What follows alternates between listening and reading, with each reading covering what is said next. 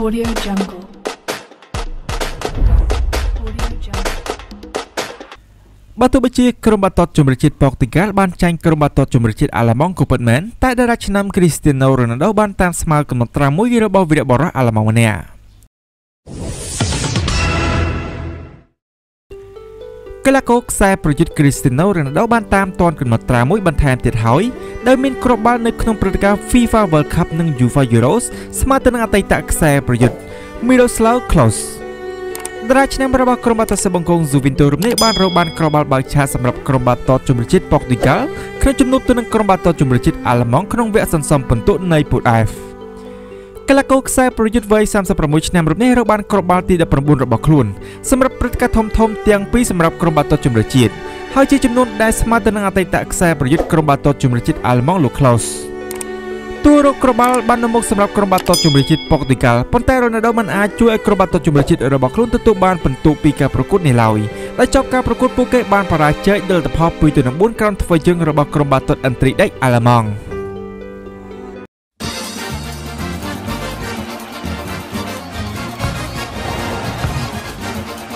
Emoção. ក្រុមបាល់ទាត់អ្នកមានបុណ្យ AFC បាសេឡូណាបានប្រកាសពីការនាំយកកីឡាករចំណូលថ្មីទី4សម្រាប់រដូវកាលថ្មីនេះ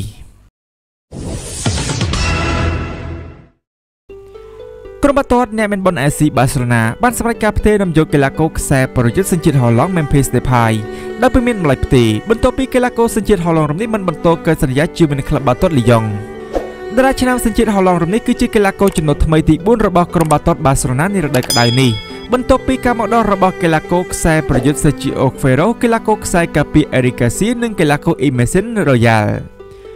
គូរំលឹកផ្នែកថាកីឡាករ Memphis Depay បានចូលរួមជាមួយក្រុមបាល់ទាត់លីយ៉ុងកាលពីឆ្នាំ2017ក្រោយចាក់ចេញពីក្រុមបាល់ទាត់បិសាចក្រហម Manchester United ដោយនៅក្លឹបបារាំងមួយនេះគេរកបានគ្រាប់បាល់បានចំនួន78គ្រាប់ពីការបង្ហាញវត្តមានចំនួន178ប្រកួត នៅគ្រប់ពានរង្វាន់ទាំងអស់នៅក្នុងរយៈពេល4ឆ្នាំការផ្លាស់មកកាន់ក្រុមបាសេឡូណាគឺជាឱកាសដែលធ្វើឲ្យគេមានការងារជាមនឹងគ្រូបង្វឹកលោក Ronald Koeman ដែលធ្លាប់ជាគ្រូបង្វឹករបស់គេនៅឯក្រុមបាល់ទាត់ជម្រើសជាតិហូឡង់ផងដែរ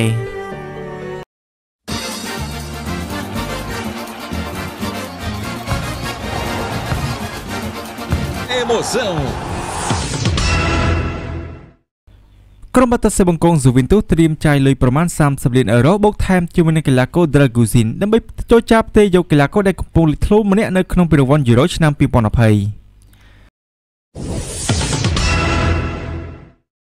ក្លឹបបាល់ទាត់សេបង្គង Juventus ត្រូវបានគេរាយការណ៍ថា កំពុងត្រៀមខ្លួនក្នុងការដាក់សមាជិកផ្លូវការសម្រាប់កីឡាករខ្សែបម្រើ Manuel Locatelli របស់ក្លឹបបាល់ទាត់ Sassuolo ជាមួយតម្លៃផ្ទេរប្រមាណ30លានអឺរ៉ូនិងថែមកីឡាករ Radu Draguzin ម្នាក់ទៀតនេះបើតាមប្រភពពីសារព័ត៌មាន Goal ក្លឹបបាល់ទាត់សេបង្គង Juventus មានការពេញចិត្តពេញថ្លើមជាមួយនឹងកីឡាករសញ្ជាតិអ៊ីតាលីវ័យ23ឆ្នាំរំនេះដែលកំពុងសាងភាពលេចធ្លោសម្រាប់ក្រុមបាល់ទាត់ជម្រើសជាតិរបស់ខ្លួននៅក្នុងព្រឹត្តិការណ៍ Euro ឆ្នាំ2020 ក្រុមបាល់ទាត់សេបង្គង Juventus កំពុងរៀបចំសម្រាប់ការដដោដោយរំពឹងថាក្លឹបបាល់ទាត់ Sassuolo នឹងយល់ព្រមជាមួយនឹងសំណើទឹកប្រាក់រួមជាមួយនឹងការបន្ថែមកីឡាករវ័យក្មេងម្នាក់ទៀតនៅក្នុងសំណើមួយនេះកីឡាករ Draguzin មានវ័យ19ឆ្នាំបានបង្ហាញសក្តានុពលរបស់ខ្លួននៅលើទិលាប្រកួតប៉ុន្តែគេមានការពិបាកក្នុងការប្រជែងតំណែងនៅក្លឹបបាល់ទាត់សេបង្គង Juventus ហើយគេត្រូវបានក្លឹបប្រើជាថ្នូវបន្ថែមទៅលើទឹកប្រាក់ដើម្បីនាំយកកីឡាករ Locatelli មកកាន់ទឹកដី Allianz Arena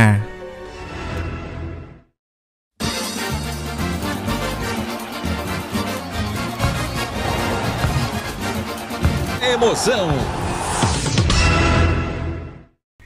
គ្រូបង្វឹកលោកជូសេម៉ូរីញ៉ូបាននិយាយចំចំថាកីឡាកររបស់ក្រុមបាល់ទាត់រៀលម៉ាឌ្រីតមួយរូបលេងល្អប៉ុន្តែគេខ្ជិលវឹកហាត់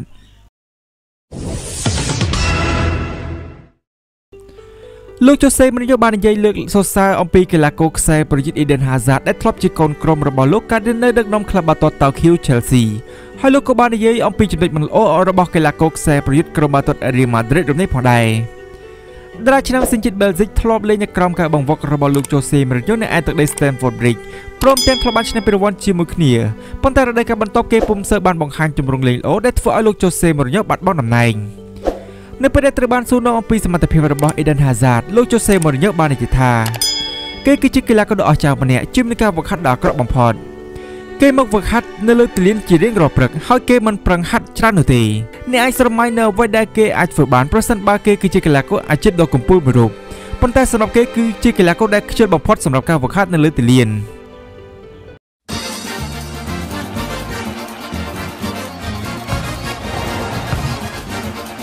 Emoção. ក្រុមបាល់ទាត់អន្តរីដែកអាល្លឺម៉ង់បន្តក្តីសង្ឃឹមនៅពីរង្វាន់យូរ៉ូក្រោយយកបាន3ពិន្ទុពីក្រុមការពារតំណែងជើងឯកប៉ុកទីហ្គាល់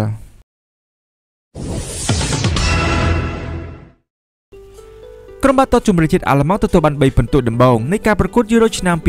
2020ក្រោយពីបានយកឈ្នះក្រុមការពារតំណែងជើងឯកបច្ចុប្បន្នប៉ុកទីហ្គាល់ដែលលទ្ធផល2ទៅនឹង4កីឡាករខ្សែប្រយុទ្ធគ្រីស្ទីណូរ៉ូណាល់ដូរបានក្របបាល់នាំមុខបើកឆាសម្រាប់ក្រុមបាល់ទាត់ប៉ុកទីហ្គាល់ដែលជាការបន្ថែមក្របបាល់ទៅលើកំណត់ត្រា Top Scorer នៅ Euro ហើយនេះគឺជាក្របបាល់ទី3របស់គេនៅក្នុងព្រឹត្តិការណ៍ Euro ឆ្នាំ2020ផងដែរ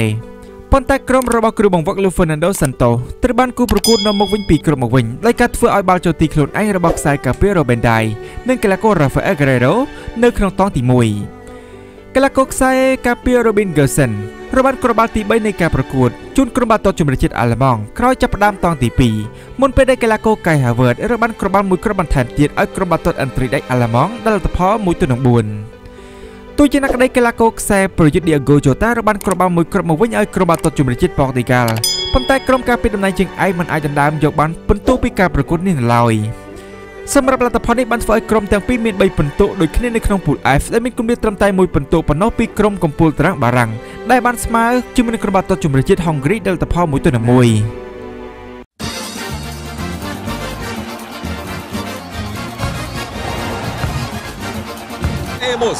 1 អ្នកជំនាញលោករ៉ូម៉ាណូបានបង្ហាញថាក្រុមបាល់ទាត់មន់គ្នាមេថូតិនហាមស្ពឺកំពុងងាកទៅតាក់ទងជាមួយអតីតគ្រូបង្វឹករបស់ក្រុមបាល់ទាត់នាមបុនអេស៊ីបាសេឡូណារំនេះជំនួសវិញការស្វែងរកអ្នកចាត់ការជាផ្លូវការថ្មីម្នាក់របស់ក្លឹបបាល់ទាត់មន់គ្នាមេថូតិនហាមស្ពឺនៅតែបន្តពលគឺចាប់តាំងពីលោកជូសេម៉ូរីញ៉ូត្រូវបានបណ្តេញចេញពីតំណែងកាលពីខែមេសាកន្លងមក។ ជាស្ដែងក្នុងពេលកន្លងមកនេះក្រុមបាល់ទាត់មន់គ្នាមាថូទិនហេម៉ុតស្ពឺបានជ្រើសរើសយកបេក្ខភាពឆ្នាំឆ្នាំជាច្រើនរូបដើម្បីនាំយកមកកាន់តំណែងជំនួសបរិសសញ្ជាតិប៉ុកទីហ្គាល់ប៉ុន្តែទោះជាយ៉ាងណាការពិភាក្សានោះហាក់មិនទទួលបានផ្លែផ្កាអ្វីនោះឡើយរហូតមកទល់នឹងពេលនេះហើយថ្មីថ្មីនេះបើយន្តតាមអ្នកសារព័ត៌មានល្បីឈ្មោះរបស់ Sky Sport នោះគឺលោក Fabrizio Romano បានធ្វើការរាយការណ៍កាលពីជុំវិញថា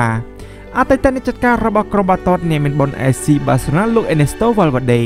កំពុងតែត្រូវបានតាក់ទងមកកាន់ក្លឹបបាល់ទាត់ប្រទេសអង់គ្លេសលើពីនេះបរិសុទ្ធជាតិអ៊ីតាលីខាងលើនេះក៏បានបង្ហាញឲ្យដឹងផងដែរថាក្រុមប្រឹក្សាពិបាលរបស់ក្លឹបបាល់ទាត់មន់គ្នាមេថូតនហេមស្ពឺក៏បានធ្វើការតាក់ទងជាមួយនឹងបេក្ខភាពផ្សេងផ្សេងទៀតផងដែរសម្រាប់ការងារនេះបន្ទាប់ពីកិច្ចពិភាក្សាជាមួយលោក Gennaro Gattuso ត្រូវបានចរានចោលវិញកាលពីពេលថ្មីថ្មីនេះ មិនតែប៉ុណ្ណោះខណៈពេលដែលពួកគេកំពុងតាក់ទងជាមួយនឹងអ្នកចាត់ការសញ្ជាតិអេស្ប៉ាញហើយកិច្ចពិភាក្សាក៏នៅតែមិនទាន់ឈានទៅដល់ការរីកចម្រើនណាមួយនៅឡើយនោះទេ